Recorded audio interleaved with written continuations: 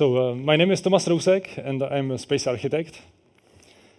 Uh, I would like to show you a little bit of my inspiration and uh, what I did uh, so far based on that. Uh, I'm very glad that uh, we met exactly at this place because rest of the universe, rest of the universe looks, looks mostly like this.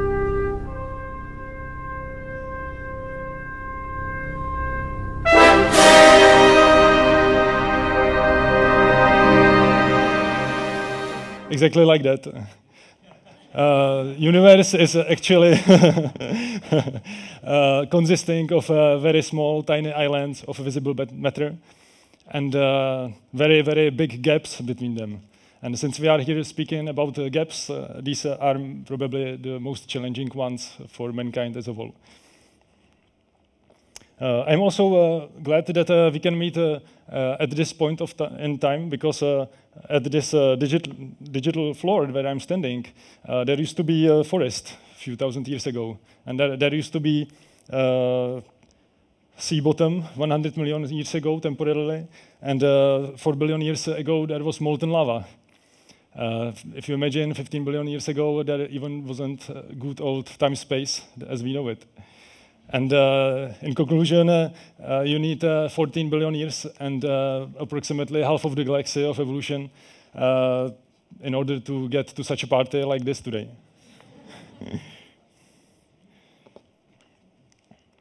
shortly after the Big Bang, uh, there even uh, didn't exist uh, atoms and molecules, and it took a long time before higher structures of organization, such as life, evolved.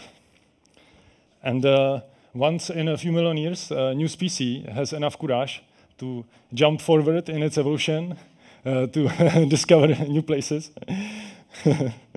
and uh, for example, today, uh, the manta rays in Mexican Gulf are uh, trying this, or uh, our colleagues uh, close to them on Florida coast. now we are at this uh, very important moment in the ev uh, evolution of the life on this planet. I don't know if you feel it, but it is here. and uh, uh, we are, we are uh, now in a uh, kind of bottleneck phase of this evolution. we have now technologies that enable you to continue on other places, but at the same time, we, we are living in a very fragile and very complex ecosystem and society that is handled to manage with uh, current needs, uh, current means.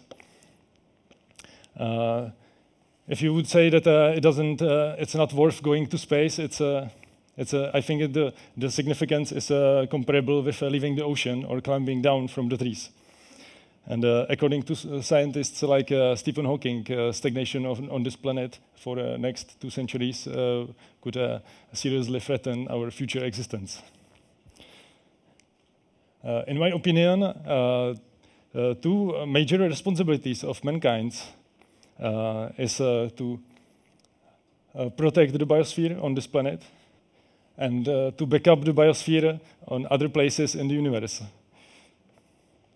Uh, we, we, also need uh, concepts uh, that I would call, for example, nature to zero, something like a symbiosis between a built environment and the green nature as we know it, because it still doesn't uh, really work together very well. And uh, uh, once we will have such a, new concept of, of, of, the built environment, if we will be able to, to recreate all the uh, eco ecosystem pro processes behind it, we would be able also to ship it somewhere else and you know start life somewhere else. Uh, so so uh, we should we should protect the nature and Uh, then we can then we can move our carbon life forms uh, to other places like uh, Victoria crater on Mars. Uh, once there will be uh, when there will be growing plants, this this would really mean for me true sustainable development not only staying in Vienna uh, happily for the one, next 1,000 years, but really to go forward and build new Vienna on Mars. Uh, Uh, for me, it's a very strong motivation, and uh, uh, I am architect and designer, so so I, I tried to uh, get such a perspective into my work. Uh, I am right now, three months after studies, and I'm still very much on the, pretty much on the beginning of this of, the, of, of, my work. So I would just quickly summarize my last five years. everything started in 2005 by uh, founding uh, Futura Pragensis, uh, which is a non-profit organization that we have put together with other 30 friends, architects and designers, not only from Prague, but also from other places. And we organized a series of exhibitions, starting with Future Visions of Prague in a National Gallery, uh, which continued there uh, then uh, to other places, galleries in America and Europe. Um, my personal contribution was a, a series of visions, st starting from uh, uh, new bridges, new city quarters, uh, ranging to a new Prague on Mars.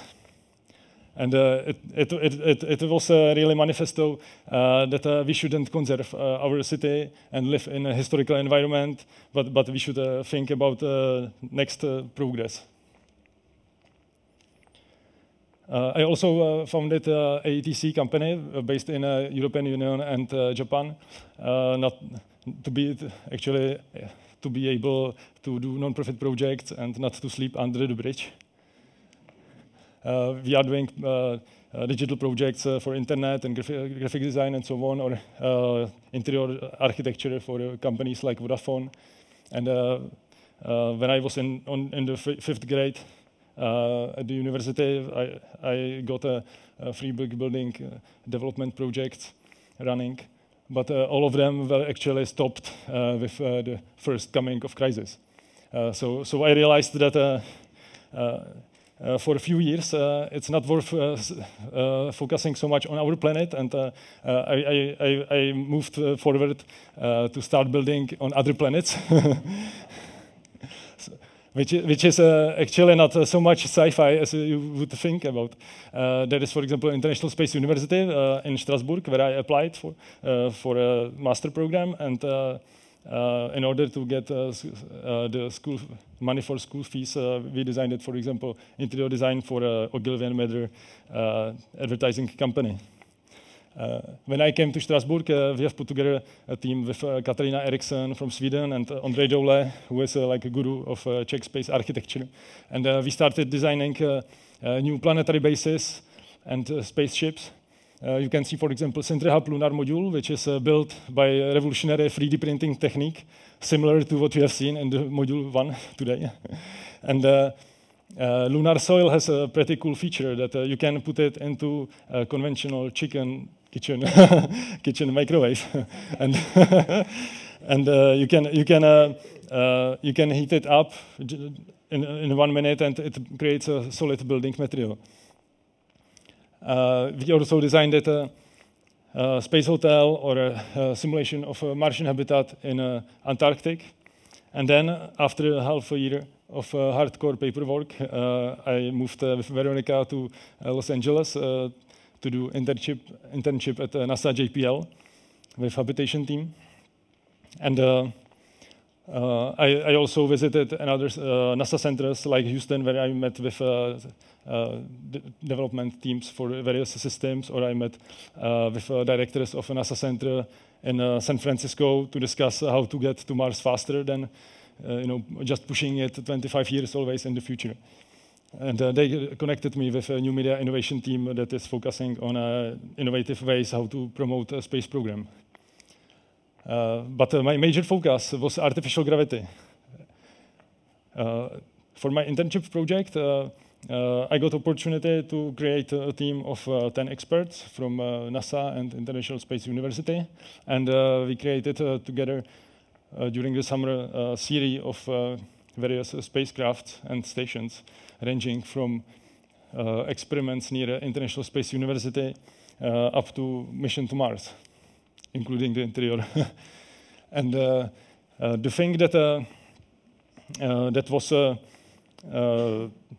most most successful from from this uh, summer was uh, a GENIO uh, mission to asteroid with artificial gravity that we designed it with Brian Wilcox and other, other, people, and Uh, this uh, this uh, project was uh, then uh, published by, uh, in, on the conference Explore Now in Washington, and then by new Scientist and media worldwide.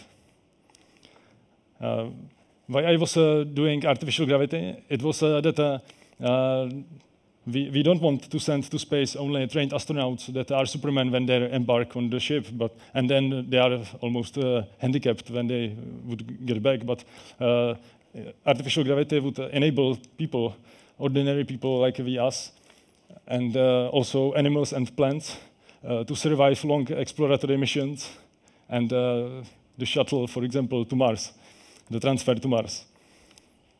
Uh, in conclusion, uh, I think that uh, it doesn't matter if you are manta trying to fly or a human. Uh, it's always good uh, uh, to realize where we swim and where we can fly. Uh, if, if you are uh, thinking uh, what to do with next weekend, I, I, will tell you my little trick how to inspire yourself and, and it helps me always when, when I deal with you know uh, earthbound uh, problems every day, it's, it's always good uh, that you imagine yourself and you zoom out and you, you, you imagine how you are part of a bigger organism of Vienna, bigger organism of Europe and Earth. And then maybe we'll have some ideas and energy next week uh, to do something uh, to help our biosphere. Thank you.